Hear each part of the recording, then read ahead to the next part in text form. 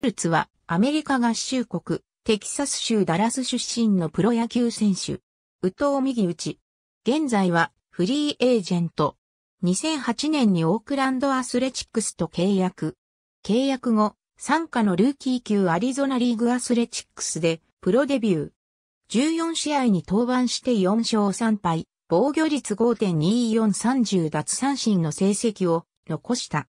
2009年は A-9 バンクーバーカナディアンズでプレーし、26試合に登板して2勝3敗、防御率2.6648奪三振の成績を残した。2010年は A 級ケーンカウンティクーガーズでプレーし、41試合に登板して6勝1敗、防御率2.8765奪三振の成績を残した。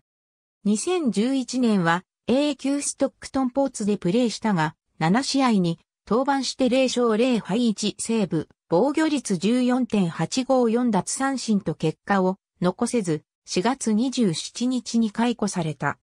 2011年シーズン途中に独立リーグであるアメリカンアソシエーションのグランドプレリーエアーホッグスに入団。37試合に登板して4勝3敗1セーブ、防御率4.1254奪三振の成績を残した。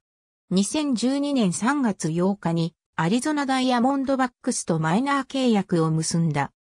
まず参加の A 級バイセーリアローハイドでプレーし、29試合に登板して4勝2敗11セーブ、防御率4.5036奪三振の成績を残した。7月に A 級モービルベイベアーズへ昇格。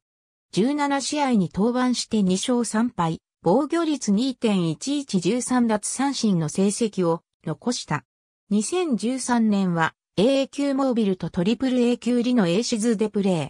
トリプル A 級リノでは17試合に登板して0勝2敗、防御率5.4923奪三振の成績を残した。オフの11月20日に40人枠入りを果たした。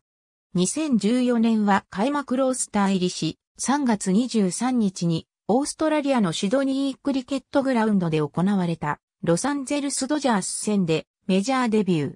8回から登板し、1回を投げ無安打無失点に抑えた。